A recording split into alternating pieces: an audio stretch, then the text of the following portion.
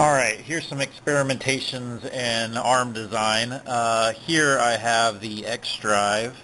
It has um, two links um, that that um, that connect these these uh, two arms in an X pattern, and it is almost perfect in in proportional. So whenever I pull on this string, the end here will move out a proportional distance. Almost. It's not quite the math doesn't work out perfect for it. And the other problem with this design is that um, it is not, uh, well, you have to depend on gravity to pull the arm back in. And uh, that could work. I just don't want to be tied to having gravity and to be to keep my accelerations under uh, 1g.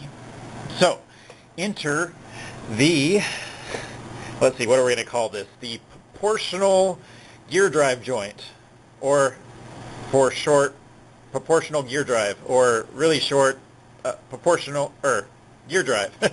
so I, yeah, I think I'm going to call this gear drive uh, now, and um, you can see my uh, this pencil in here is just for tensioning. Uh, that that is a one problem. That's the only problem that I see with this design right now is that I need to put some some kind of tensioning mechanism in here. I'm, I think I'm going to have a string attached to a spring on one side, and the other one will be attached to a guitar uh, tuning peg, and and so it'll be no big deal for a end user to be able to tension this up.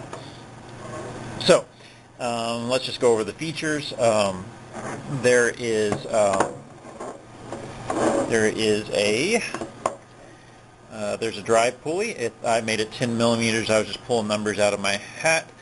And uh, there's these the strings go in, and then there's these two bolts. Um, and uh, one string goes back and forth around those two bolts, and then another one goes back and forth around those other two bolts.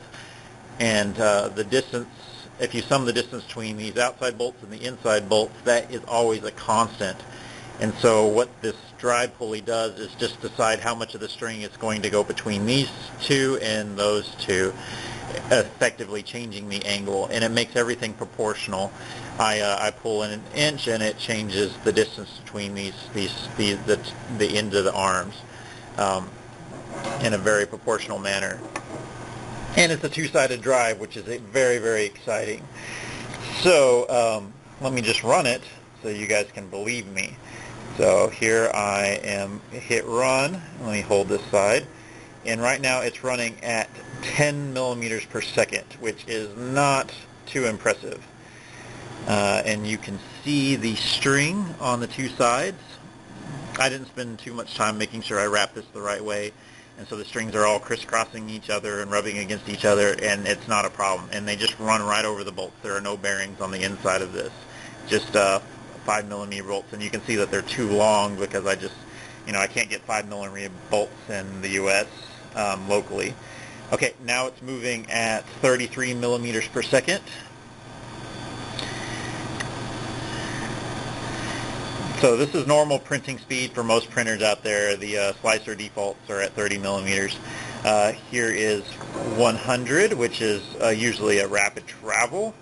And if that's not fast enough, 250. And if that's not fast enough, 500. So, um, as you can tell, I was holding the light end of this and then making it drive the gear and or, or drive the stepper end of it. And um, by my estimations, that is more. It needs more power to drive it, just like I have it, than it will take to drive in normal Simpson orientation, where uh, this um, or where I'm holding it now is tied to the shoulder and, and then that top part's uh, attached to the hub. So this should be a very effective drive mechanism. Um, you can see, um, well, things that are that are concerning are um, would concern people is, is, you know how precise is this and um, right now I can actually get a little bit of slop in the arm but most of the slop in the arm it's going to be hard to show on the video, but all of it will not uh, will not be in the dimension uh, in in the in the direction of movement.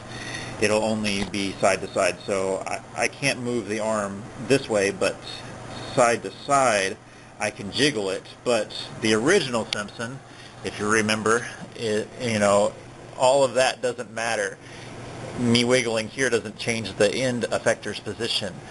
All I really care about is the distance between this point here and this point over there.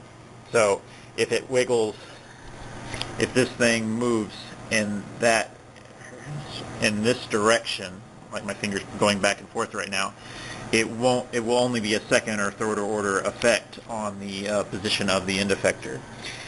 But um, that should all disappear whenever I actually properly tension the string and, uh, you know, I don't have this really colorful pencil being my uh, my tensioning. And I can actually, I've actually, you know, just pressed down my my hands on the string to apply, you know, just very, very light pressure, and it really takes all the slack out of this. So, I was not expecting this to work, but it does. So you can expect to see it on the new Simpson. Um, I am waiting on, currently I'm waiting on gear uh, tuning pegs and springs, and as soon as I get those next week, I'm going to redesign this, reprint it, uh, make this look a little cooler. I think it looks like a boat, so uh, I want to make it look um, look pretty aggressive and mean. I like this side. It looks really cool already, so I'm going to leave that alone. I might go ahead and print those out, but um, I will need to redesign this as soon as I get the hardware that will go on it. Uh, thank you for watching. Uh, look forward to showing you guys uh, two more of these arms together on a Simpson.